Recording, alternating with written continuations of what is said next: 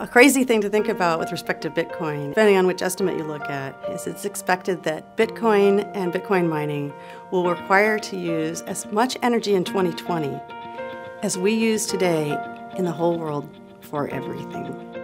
About 38% of the electricity need to run the operation is just to cool the electronics. That's the thing we want to address. That's the system inefficiency in this case but we're then coming to a crossroads where we're going to need something new, you know, something different to, to help maintain and reduce that energy footprint. Back in 2012, uh, we set up our company in Hong Kong.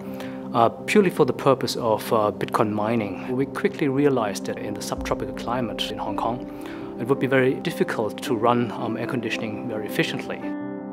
Something unique happened in 2012. Two young entrepreneurs approached us, had seen some videos on immersion, and were intrigued by the possibilities of using it in, a, in Bitcoin mining. When we took a deeper look into 3M fluids with immersion cooling, we're quite uh, fascinated actually by the possibilities. So immersion cooling actually submerges the IT equipment in a liquid so that the liquid is coming in contact with the electronic equipment and go, whoa, wouldn't there be sparks would be flying? Well, the liquid that we're using is a non-conductive fluid, and therefore that can touch the IT equipment and cool it directly. Instead of spreading out the electronics so that you can air cool it, you just pack them together because it's going to be cooled through this, this fluid. And this allows us to shrink down the entire data center size to only a fraction of what um, would be if we would run a data center with uh, traditional air cooling. That paired with the much uh, more efficient cooling methodology of immersion cooling really convinced us that this was uh, the right path to go. So you have best-in-class power density coupled with best-in-class energy efficiency and dramatically simplified design.